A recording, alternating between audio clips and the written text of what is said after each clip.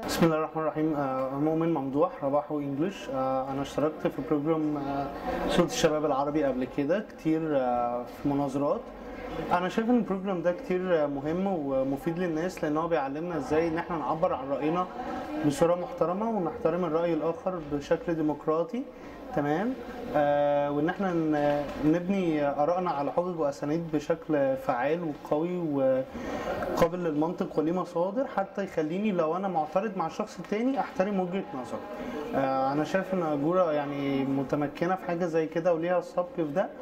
وأتمنى إن إن شاء الله المرة الجاية نتكلم عن المعاهدات اللي أبرمتها مصر وممكن تعديلها يكون مؤثر عليها سلبا أو ايجابا. شكرا.